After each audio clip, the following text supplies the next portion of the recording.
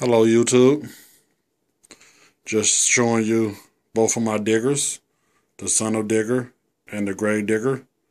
I installed light kits on both of them. The Son uva Digger got blue headlights. The Grave Digger has red. Moving to the side, you see the Grave Digger has the red lights coming out of the the skull on the side. Then moving to the back.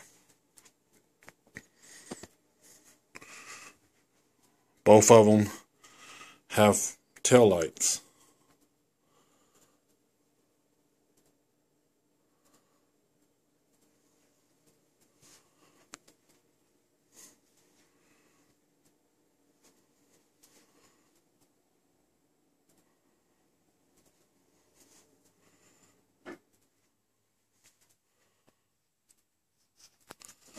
Both of these kits was purchased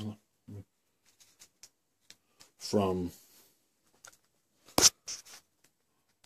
RC Lighthouse on eBay an eBay store. You get the kits for about 20 bucks a piece. Thanks YouTube.